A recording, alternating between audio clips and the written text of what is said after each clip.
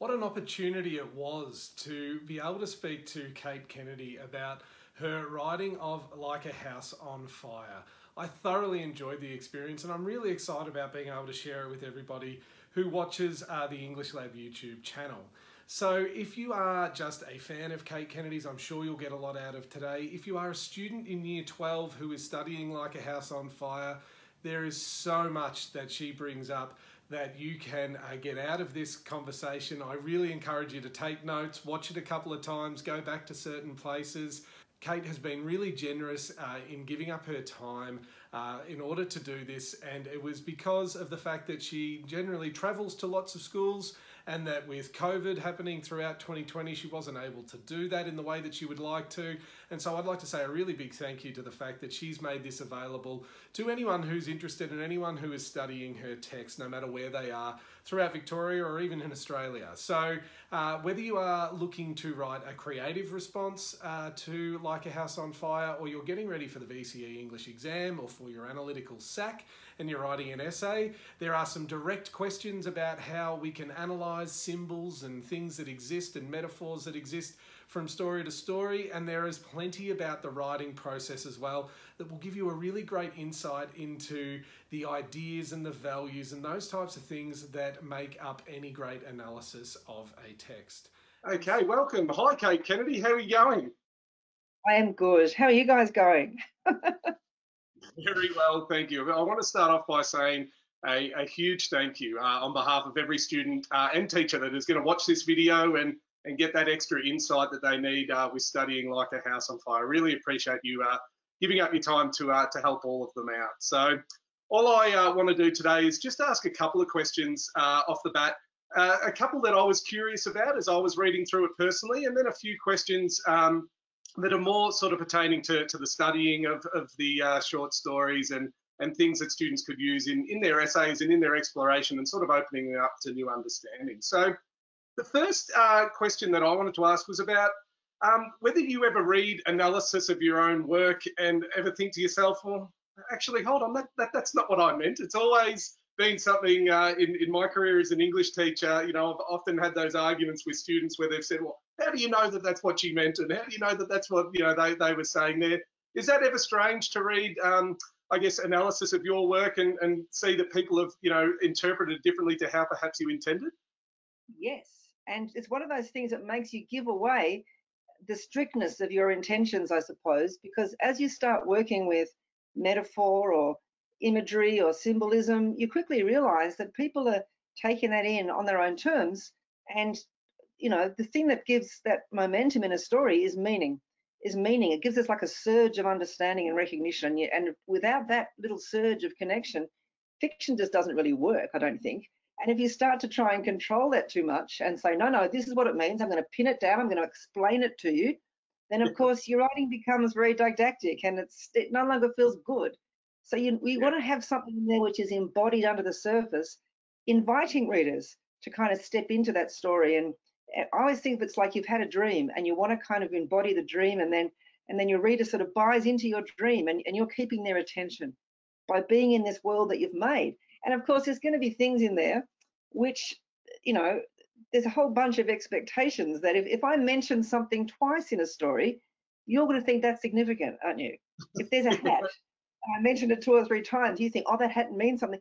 This is how we kind of project ourselves into the story and try and find that meaning in it. So I don't want to turn that off. I want to keep that that going because finding that meaning on your own terms is just so important to a reading experience rather than a, um, a reading sort of analysis where you're looking for answers as if I've kind of put them in there like a trick of some kind to make some people feel smart, some people feel stupid.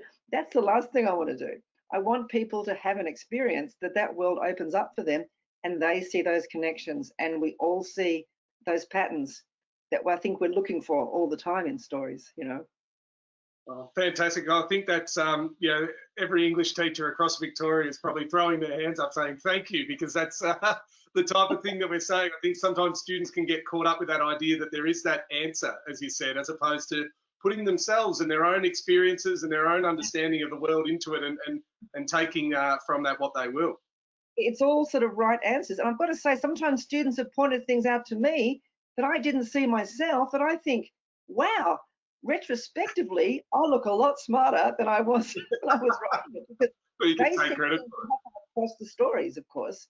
And they look, for example, one group of students said to me uh, one time, all of your all of your stories finish on a kind of a moment where someone makes a gesture or their hands do something in that collection. I thought, oh my God, they're right.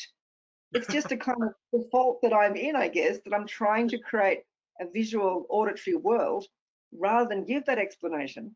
And so I make somebody do something in order for the student or the reader to kind of have that visual thing in their mind. And of course, I do the same thing every time. So I can say now, I meant that, that pattern. After the fact, that's great. That's right, I, uh, yeah. I, when you were saying before that you mentioned some things, you know, multiple times, one the one thing that I was thinking of was uh, in the uh, the second short story from um, Like a House on Fire. One thing that stood out to me personally was the um, the feature in the car that would beep whenever he was speeding.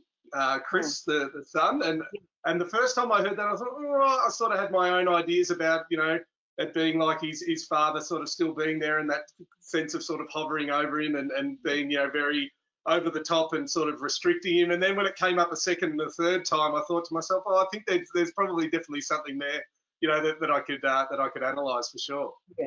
yeah, and that's what happens, of course. By the time you've you've got lots of happy accidents in your first draft, as students will find if they do their own writing, you're just trying to be um, to explore yourself.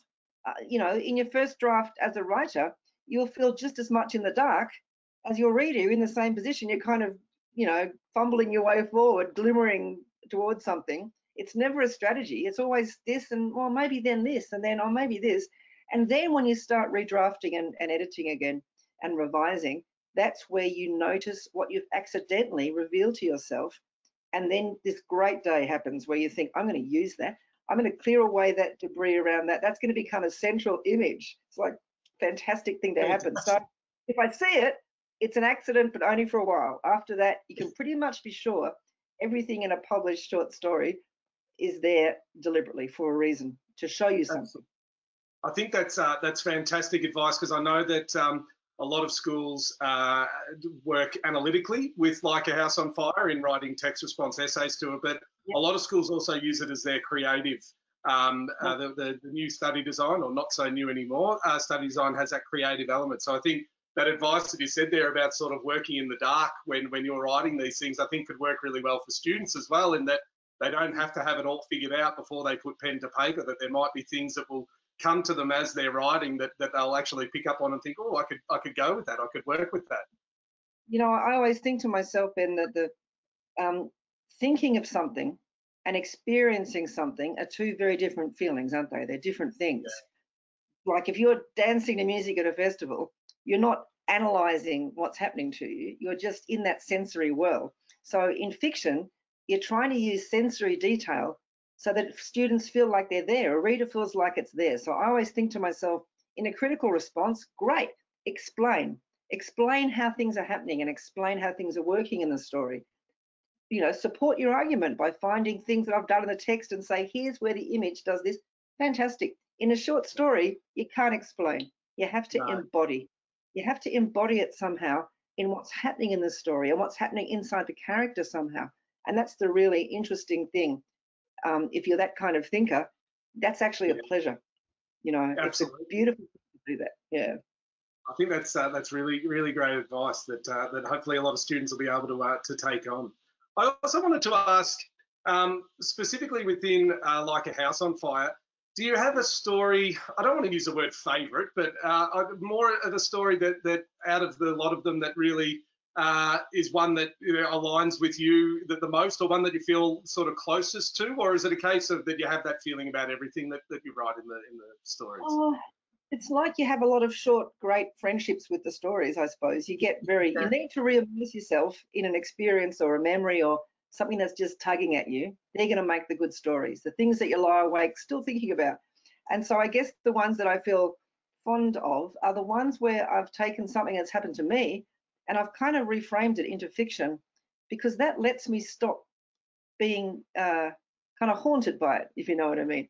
It, a, The one I'm talking about is the story called Laminex and Mirrors, about the young woman who's the cleaner at the hospital. Yep. And as you can probably tell from the detail and the description and the, the that's pretty much autobiographical. That was Okay. me when I was 18.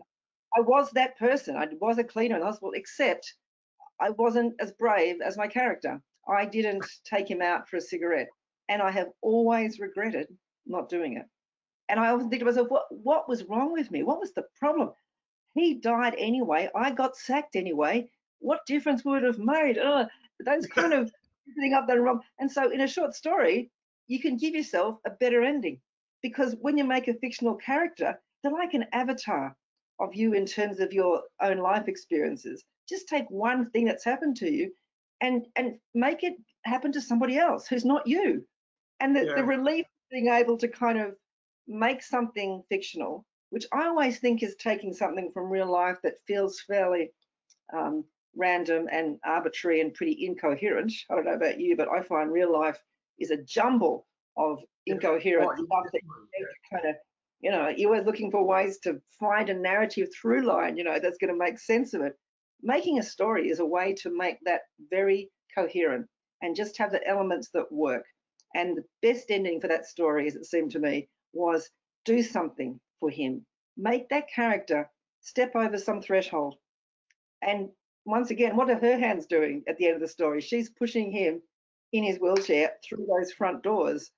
She's making, and she's, it's like a sacrifice, but in that process, he becomes an adult, really. That's what I remember from that experience of, of that work. But I wish I had done it.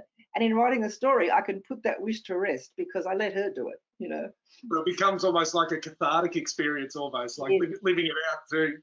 That's great. People talk I about really love, um, therapy, but writing's not therapy. Writing is that catharsis. You pick up something and you look at it again and you think about it. And I think I think it's like it's like you're picking a lock. That's how I kind of see it now. And you're listening to those tumblers and you're looking for the right combination to make something happen and a door swings open. So it does feel like, oh, finished. You know, a small little thing has been finished and it feels really satisfying. Yeah. Oh, great. I love I love the moment in in Laminex and Mirrors where um, she takes him to the uh, to the bathroom that she's cleaned in that uh, wing that's going to be demolished, and I think he says to her, "Oh, you're a champion" or something like that. And when I read it the first time, I really I really uh, felt something for for the old for the old man. And then uh, the the audiobook version as well, which I've been listening to recently. There. The, uh, the voice artists who do that do a really good job of it, and you can you really get that sense of that that moment of, of you lowering him into the bath and so on. Yeah, it's a um, it's a really really great moment. I think that's um, that's really really cool that I've uh, I've learned that today. But that was somewhat autobiographical. That's um, that's, quite a uh, few stories are autobiographical uh, because write what you know, I guess. Write what's happened to you or what you've heard in passing or someone's told you something. And, you know, a big thing about the stories in terms of when I look at them all as a as a group or a sort of a, a playlist, I kind of see them as, you know, a playlist that I've made for someone. They've got this kind of there's sort of like a, a series of tracks, you know, and I look at them and I think, why have I done this and why have I arranged them this way? The same way that you would if you're making a playlist for a friend.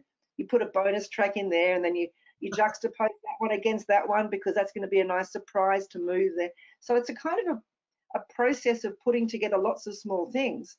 And I look at them and I see themes in them that I didn't set out to write about. I, I never would sit down and think, right, now for a story about redemption.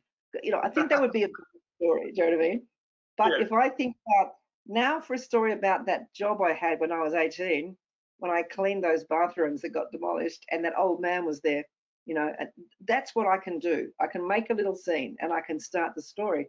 But I see that there are larger themes and there are themes about that very stuff that you're talking about, which is ordinary people uh, whose, whose problems are just as big as anybody's. Um, and, and it's it's the trying to do something or to change or shift or move that kind of makes them kind of extraordinary to me. I, I find that coping or just trying to get by quite heroic. the older I get, the more heroic it seems, you know. And I, and I, I think that's why you know as we read them, that's why you know you can connect with them so much because they are those those ordinary moments, but occasionally it clicks upon that sort of feeling. I know that that's what I had when I when I was reading through them. There were certain things that I realised, oh, that's probably not me. But then every once in a while, there's that thing that happens and you think, oh God, I've felt that. Yeah, I, I know that. I've yeah, that that's I've I've had that experience. You know, not not with exactly what happens, but that that feeling that uh, that you're talking of. As I said, you're um, looking for experience. Yeah.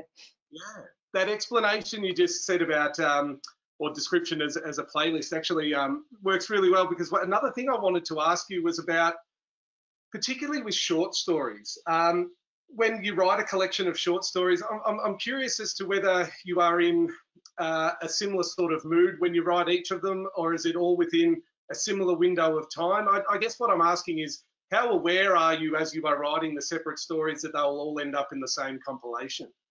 No, you can't really think about it any more than you're looking at your at all the songs you've got, you think, what's my playlist going to be? You have to just kind of do one and see what occurs to you next, I suppose, what it reminds you of, because one thing kind of triggers something else. Uh, and I, I sort of wrote them over a period of probably eight years, which looking okay. at it now was kind of one of the longest droughts Australia had ever had. I was living in the, in the country on a farm. I had a child during that time. I lost both my parents to cancer during that time. Lots of things happened that you, you just where are you going to put those things that happen to you?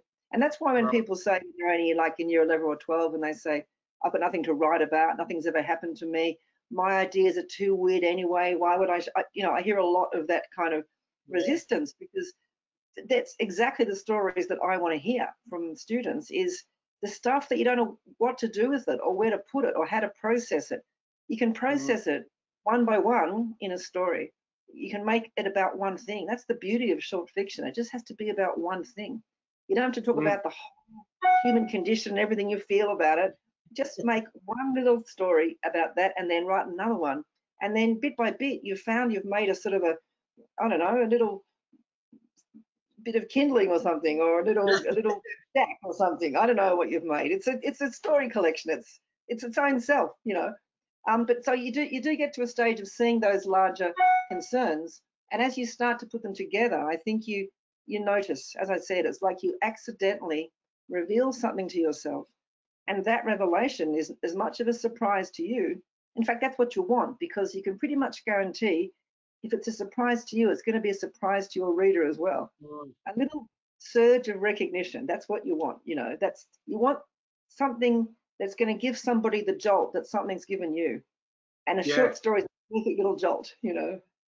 Absolutely. I think that's I think that's really uh, refreshing for, for students to hear, particularly when they are writing creatively. That it's, it's you know, as you said before, you don't. I'm not going to you know sit down. All right, I'm going to write about this theme and this idea. That it is that personal thing, and that they can stumble upon those things that have happened to them that will you know lead them to that sort of creative writing. Yeah the thing I've um, written in some notes and I would always say to students is um, small and specific is going to trump big and generic and vague every time.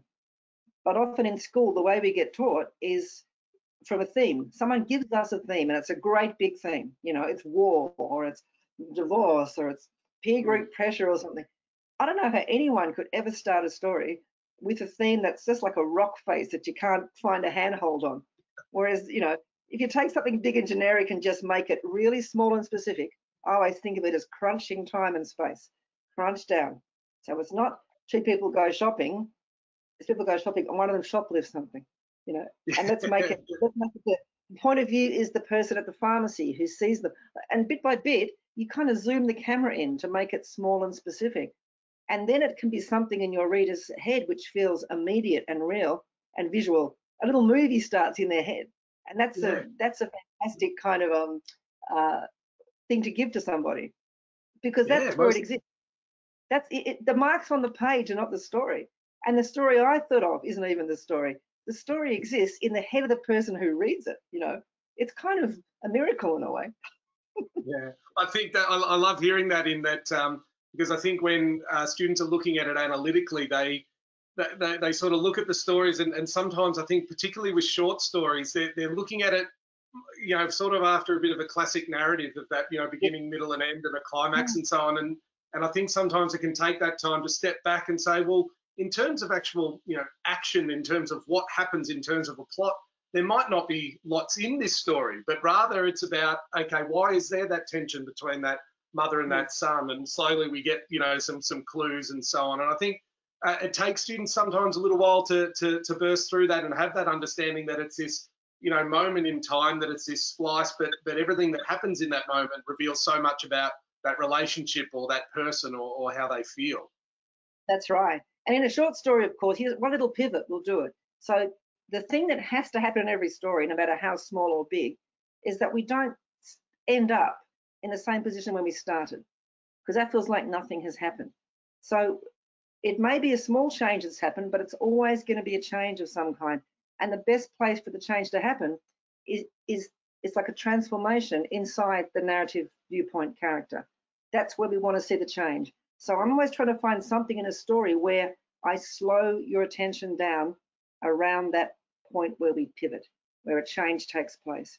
I want you to pay attention to every second of that moment. And every story has got that moment where things are going along this way and then something happens and now we see that we can't go back to what it was before because of some mm. revelation maybe or because of a realization or because of a blurting thing or because something happens or someone does something anything can be that pivot but there will be a switch in power or there'll be a switch in understanding or something and that's what makes it feel more satisfying i think okay are there are there any um, instances where you might do there might be more than one of those moments within a story um, well, it builds towards the major one. And the yep. trick about the major one, you know, that, and if you look at story structure from the Greek, that's what the word crisis means, not catastrophe. It means decisive moment. So you okay, have to try and make that decisive moment for yourself where the character decides something. I'm making it sound a bit glib, I know, but it's not complicated. It's actually beautifully simple. And only one of those things has to happen because after that happens, you can't have another whole unless you're having a novel, of course. Then you have yeah. a whole.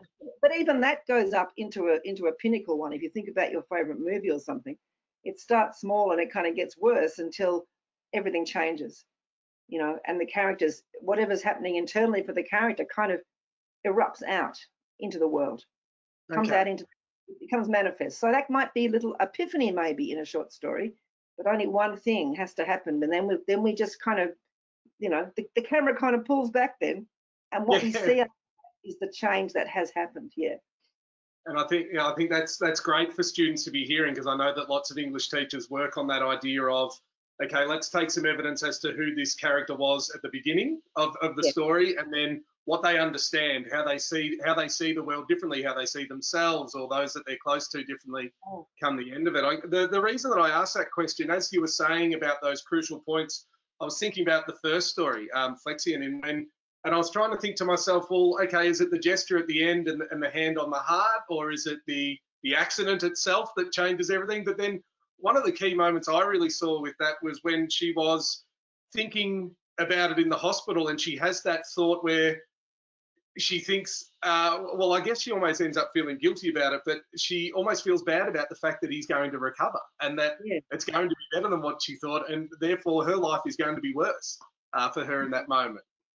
She wants him to die, actually, and yeah. and there's a yeah, and and the, the moment I feel like I've slowed you down in that story is when he's home from the hospital, and they're kind of seeing how it's going to be, and he's sitting at the table, and she's cut his hair, and um and then she's get on that phone and and thank people. And he's, I'm not thanking. And she gets the mirror and, and she says, have a good look and get on that phone. And what you realize is there's been a power shift. You know, he cannot get up and come around the table. The implication being he's always been more powerful than her and possibly even, you know, quite intimidating or violent towards her. But now she has got the power and she feels that power surge through her. And I've got to say, too, that's one example of not just a pivot point, but one example where a student has said to me, um, is that a symbol of Samson and Delilah from the Bible? Because in the Bible, um, Samson gets his hair cut by Delilah and he loses all of his power and strength. And I said, well, that's a really good idea, but didn't occur to me. well, they could go for it with their analysis anyway. It's been uh, it's been verified now that, that that's the interpretation we're going with. Sometimes that in a story is a turning point, and often what you're showing at the end is um, some gesture or some moment, which is hopefully that change embodied in some way, where you see what might happen next, or you make a decision yourself. You weigh in as a reader about what seems likely that might happen next. even that little moment in Ashes where he just brushes that bit of um, ash off his mum's lapel. That's that's his dad. That's a little bit of his dad's ashes, and it's a little gesture of conciliation or tenderness or kindness that probably wasn't there at the beginning when he was grinding his teeth with resentment um, about having to do this. There's something that's kind of shifted in him. And I guess in a story, you've only really got time, you've only got a few thousand words. It's actually, it's harder to do it in a in a small space than is to do it in a big space because you somehow have to make a frame that your reader will look into that door frame when you open it and get a glimpse that the right glimpse that they need, the right moment or the right day or something. And then you shut the door and the rest they have to imagine for themselves. And they often, students often say, don't you want to go back and revisit those characters again? It's like, no, I just have to assume that their life has gone on a little bit differently than yeah. it was when we first struck them, when they were stuck. You know, mostly they're stuck, aren't they, at the beginning? And then yes. they have to, often physically stuck, you know, sometimes spiritually or emotionally stuck. But yeah, then they there's a sense that there's going to be movement and shift somehow. So I think that, that could be a, a good a good way for students that are looking to, to access you know meaning and to find their own unique interpretation. Thinking about that idea of of characters that are that are stuck and as you said physically or or, or otherwise and, and and what comes to resolve that yeah. is that yeah I think that I, um, I think that's the type of thing that can yeah really help them out. And often the thing has been staring at them in the face all the time. But that's what I mean about it's them having to change. You know, you have to use what's there in the story. So if your little arena of power and freedom is that backyard swimming pool, get into that pool, get back into that world that you feel that you're a different. Or if you um, have noticed suddenly that what your kids have done while you've been lying on the lounge room floor with a bad back, and they've been, what they've made is a nativity scene out of all their toys. They're going to have Christmas whether you can get up or not. Those sorts of things are the moments where the character has a change of heart or an epiphany or a realization that they have to unstick themselves somehow.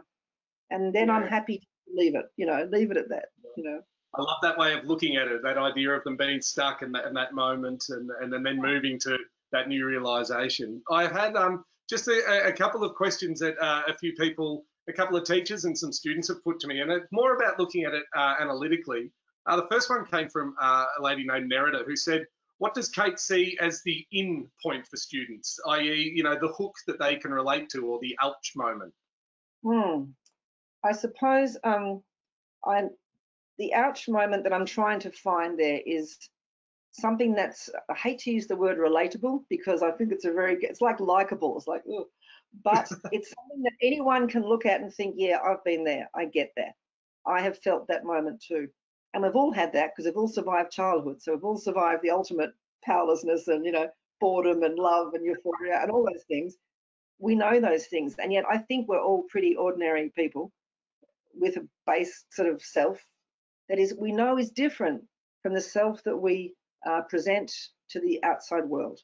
And between those two selves, that hidden self that we prefer to keep hidden, crisis is what reveals it, obviously, um, mm. and the outside world, we're stepping or learning to step back and forth between those two selves all the time. And I think that's the interesting territory of where um, you can put pressure on a character. So to me, I think how it happens at the end point is someone's just going along and there's a disruption.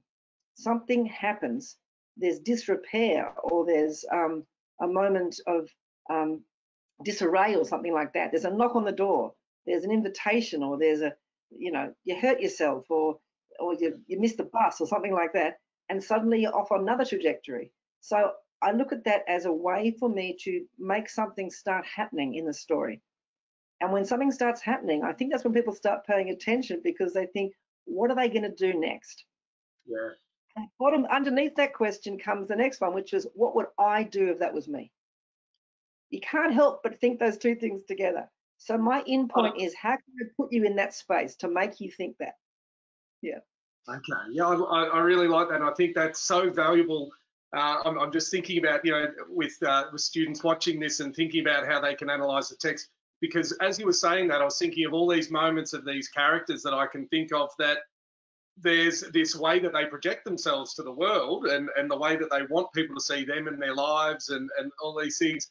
And then we have that reality. And, and, and you mentioned Ashes before. I always found that, you know, quite heartbreaking that, you know, that his mother, you know, talked about, oh, all those camping trips and he's sitting there in the car going, we went twice and it was awful. And, and it's that idea of what she's going to present to, you know, to the book club ladies. And, and then you think about how, um, you know, the Frank from the first story, how he is to, uh, to everybody else, and then he's this pretty horrible guy, or more than pretty horrible. He's this awful man, you know, in, in his own home. And so I think um, I think that's a, a, really great way for students to be able to see that idea across texts and, and to see how there are those moments that truly reveal, you know, I guess the truth of what's happening uh, in these people's lives. It's such a good question to ask about that ouch moment because they're all about the ouch in a way, aren't they? The, the moment yeah. where the cost of hiding something becomes greater than the cost of risking it in the world, I suppose. And that's why at the beginning of the book, there's a little epigram by Kafka that says, in the battle between you and the world, back the world, you know, because we're not going to win against yeah. that. That guy in ashes is just going to have to tolerate. That's his mum. That's the way things are going to be. Doesn't matter how much you resentfully internally, you know, simmer and fester away. Deal with it. You know, yeah. deal. That's how. That's reality. So I always feel like we all kind of go into the world thinking we're going to change the world, but in fact, the world changes us. We don't get what we want. We get something else, and it it alters us. And so I think it's such a good question because that is the giving away of something, which is our loss, isn't it? That is the bruise. That's the ouch. The loss of something, and the yeah. getting of, something, you know. Yeah, I, I think that that leads me to, to something that I was I was personally thinking was when you when you were talking about uh, the characters having to accept these things. I, I, I sort of uh, have spent a lot of time, you know, in, in teaching English to students about saying, you know, it's not about your personal judgment or whether you think the character's good, bad, or otherwise. But I really couldn't help, um, you know, disliking many of the characters or finding yeah. them, um, you know. But then I guess on, on subsequent readings, what what I find is that that frustration. My, my reading of it was that I was I was sort of looking at well what's made them that way and um, you know they and and in in the first story we, we've talked about a little bit but when when they talk about you know going out of town and, and losing the baby and so on and i always think what was he like before that? You know was he loving and caring? And was that the thing that's broken him and he can't deal with it? And and yeah. I, you know i think when you try to sympathize that little bit there's there's plenty of ideas there about you know these people that that have these um, you know, awful, awful behaviours or irritating or frustrating behaviours, but you, you begin to start to think, well, what's led them to be that way? Mm. And and um, the other thing about if you know that that expression, um, be kind, everyone is carrying a great burden. You know, we never know what's going on for other people. We don't know what's happening in the life of the person who cuts in front of us in the car park at the supermarket, or the person who packs our bags, or the person who is the nurse who fixes up our broken ankle or the person who drives the bus. What's the name of the person who drives your bus to school? You know, you don't know because those people are just invisible to you. They're just mm. things in your way, really, because we're all very, very self-focused. We think what mm. I want, what I'm going to get, get out of my way. I'm getting what I want to get, and yet those invisible people who are fallible, yes, and annoying and human, you know, yeah. flawed. Um, I, I love them. I love them. And, and for the nine minutes that I've got your attention, um, when you're reading one of my stories, I want you to pay attention to them. Maybe I haven't named them for a reason. Maybe it's because we never named them. And it's been so strange during COVID to kind of have to think about these invisible people and to say, just pay attention to the person who is in the grocery store stacking those shelves. That person has a life. They have complex things going on inside them that they're not sharing with you. All you're seeing is someone in your way. It's funny how those are the people who we've actually recognized during the pandemic as essential mm. workers. They are essential workers. We just don't notice them too much. And so I want to notice them more. And they're the characters that I find myself returning to again and again because they're fallible, because they want something and they can't get it. Often not even aware themselves what it is that they want. But I think that's the beginning of a character. If you can do a story and you look at it and you think, who wants what and why can't they get it? You're on, you're on your way to writing a story. It's about desire and not getting what you want because the mm. world doesn't work that way. So what do you do then? What does that reveal about you? That's how you're going to make that change happen in a little story. And I love reading those myself. And I would love to read as many of those as people could write because those people have become my kind of heroes because they cope yeah. somehow. They may not yeah. win, they may fail, but they try. And it's the trying to me which is now I see as being quite heroic. Okay, I, yeah, thank you. I really, um, yeah, I really, I really like that that idea of yeah, of, of coping and and and and that that effort that it, that it takes in order to to do those things. A, a, a couple more, Cate, if, I, if if you don't mind. I just wanted to ask about. We had a student that asked about uh, things that they could use that are links between the texts, be they symbols or elements or things that you would uh, see within the text that you think, well, here's some of these uh, the, these ways of linking the stories together. Sure, um, that's a really good question. I would say I um, I focus a lot on finding a um, a kind of a central metaphor of some kind that the character may or may not be aware of. So an object or a thing usually is in the stories uh, that appears and may reappear again. And then I kind of grab hold of it and see what I can do with it. So it might be something like um, that mirror in that story and the idea of what a mirror gives us in terms of seeing ourselves and showing it out to somebody else. It might be that pool, a central metaphor like that, making that whirlpool, because that little vortex is your little arena of power. It might be something quite incidental, like an image that makes that world spring up in your reader's head. I'm trying to find a way to to put it together so that when I say that Mr. Morton coughs like an old engine that won't quite start, I'm hoping that you make those connections that you think, oh, he's not got very long to live, rather than me saying he sounded really sick and I thought he was going to die. I don't want to write in that didactic way. I want to write in a way which is suggestive and and kind of image rich to make that visual auditory world. So I'm looking for details all the time that do that. And across the stories, I would say I'm trying to find that pivot point where everything gets slow. I try and put my imagery around that central point so that if there's going to be a metaphor, that's where I'm going to say, pay attention to this. What are people doing in this most raw of moments? What are they doing now? What are they thinking? What's going on? What, what, how's that manifesting itself? What's their body doing?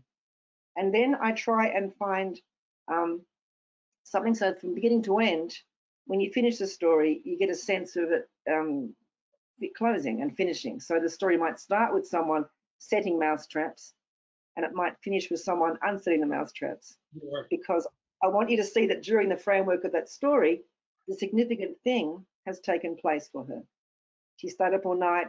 And I look at those again, and I was just watching the other day, I was looking at that last line in that story, um, tender yeah. Because uh, someone's making a little short film of it. And I was looking at the last bit, and I noticed I had used even a word that I was suddenly I realised when she's taking the mouse traps apart again, doesn't want any any mice to, to die. It says she put she it makes a benign little snap. The word benign in the context of the story takes on another whole sort of little, oh, she wants that lump to be benign and not malignant. She's terrified that it's going to be cancer. And she's going down to cope with that by herself. So she's making herself prepared and brave. That's what she's doing. She's like a, a night before battle, you know, getting herself prepared. So I'm trying to find something which creates a beginning, middle, and end. Not always chronological, but um, creates a nice sense of, um, you know, not not just that it's coherent, but that it's kind of cohesive. That everything yeah. is there for a reason and it kind of fits together. So I'm looking across the stories, I can see connections that I didn't see when I was writing them. But there's nothing like, oh, this Helen must be this Helen later. Just, I was just with the name and stuff. It'll always be an object or a thing or a realization or a gesture or an embodiment of some kind. And that will keep reappearing about fallibility or loss or something like that. Yeah. Oh, terrific. I think there's um, there's plenty that, that you've brought up today that, that, that students would be able to see you know, as you talked about with, you know, the metaphor or, or, those objects and that, you know, the, the slowing down and the focus and those pivot points, I think there's yeah. There's plenty there that they'll uh, that they'll be able to, to, to sink their teeth into when they're, when they're analysing. Um, finally, uh, Cate, I just wanted to ask. I mean, we've we've talked about a, a whole bunch of ideas um, here today. Is is there one sort of idea or, or message that, that you feel is more prominent than others that really comes out uh, through the stories? Um, I, I guess the message is um, is just one of, of that we're fallible, and because we're mm. fallible, we're kind of forgivable. So just lighten up, be better, be nicer, be kinder to yourself and kinder to each other because there's no other way home. You know, there's no other way out of this but to accept that we are quite small and powerless individuals.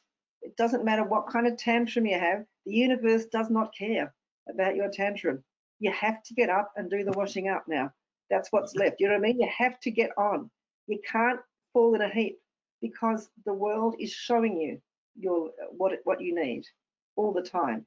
It keeps telling us and telling us again how we have to change, and we resist, we resist, and we can get dragged kicking and screaming towards that. But I really wanted, and even in the greater shape of the collection, if you want to have a look at how it's all put together on the playlist, it begins with a break. It begins with an unexpected catastrophe. You know, something turns over, literally. Something mm. is overturned and we're upside down and something breaks. And then it finishes at the very last story with that little girl's journal where she says, I'm going to come back and get my bird from you when I've got a place to look after it properly. And that's my promise to you. And the next page is just blank, you know. So we kind of begin with someone looking up at the sky, thinking they're going to die, and someone at the end looking up at the sky like, I'm going to fly in that, you know. Yeah. That's what I'm going to get to. So there's those bigger ideas of just hold on, hold tight, you're good. We'll all be good, you know. I like that. I think that's that's a great for so many for so many texts that we study you know, in the VCE that, that, they don't. I think that's quite an uplifting message as well, and, and something that particularly for young people to take out of it, that idea of, you know, the, those those things that they go through and, and having to, to cope and to hold on. So you always the, we're the only person in the whole wide world ever to have those problems or ever to have these feelings. yeah. No one else has this intensity. It's all just about me, but it's not. This is us. This is the kind of primate that we are. Sadly, we are so human, and I want to kind of celebrate that humanness. And I really want to encourage students to to look at it in themselves and in their own work as well, because they are experts on that stuff. We're all experts on this. Not so much for pretending to be on a different planet or, you know, be World War One fighter ace or something like that. But gee, we know what it's like to feel lonely, to feel let down, to feel less than perfect, to have to get up and keep going or get up and try again we are experts on that thing of our inner self is going to gradually come out into the world so that we can show the world not our external mask, but our actual unmuted self one day. And life is going to show us how to do that, you know. Unlikable as we are, you know, it's going to be okay. I think that that's one thing that I've that I've really got out of uh, personally just from from having a chat today was like when you're saying before that very sort of selfish way that we might have the blinders on and those invisible people. I think that that really stuck out to me. I hadn't really considered in that way, but you know, and then I think you know when we when we think about the stories, that idea that we're thrown you know straight into these people's experiences, it is that way of really you know trying to empathise and, and and have an understanding of, of what others are going through as well. Yeah, I think that's I think that's great. So uh, Cate, that, that's all the questions that I have. I, I want to uh, just finish by saying a, a, huge thank you. I think at, at this time, particularly uh, in 2020, with uh, everything that's happened and the disruptions that students have had, for them to be able to access something like this uh, online will be exceptionally helpful to them. So on behalf of them and, and from me personally as well, a huge thank you. Oh no, it's my pleasure, and I just wish you all the best with doing it. If I, if you guys write a story or find something useful in there and we can use that great power of fiction to make sense of things, I'll feel really, really repaid really well. So I want to just say thank you, man. Thank you. Good luck, you guys. I hope it goes well. Thank you so much for watching our chat with Cate Kennedy. If you are new to the channel, please subscribe and take a look around to see if there are any other videos here that can help you out with your VCE English journey, be they as a teacher or as a student. If you're a guest who just came along because you are a fan of Cate's work, thank you very much uh, for watching and enjoying, and we'll see you next time. All the best.